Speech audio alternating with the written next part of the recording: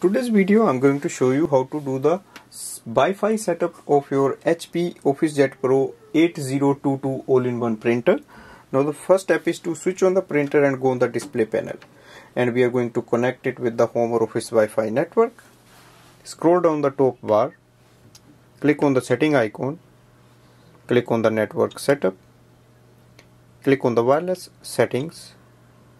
And click on the wireless setup wizard click yes. And you will see it will search for the available wireless routers. And you just have to simply select the network you want to connect. If you don't see this network simply move your printer near the router and it will show up there. Enter the password using the display panel. Once we enter the password simply click on the ok button and it will start the connection setup. You will see the blue light will start to blink after some time it will stop blinking and stay on. That means it is connected with the Wi-Fi network. Click OK and go to the home button.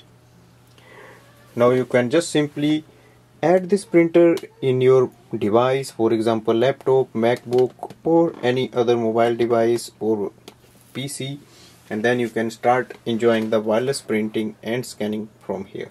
Thanks for watching.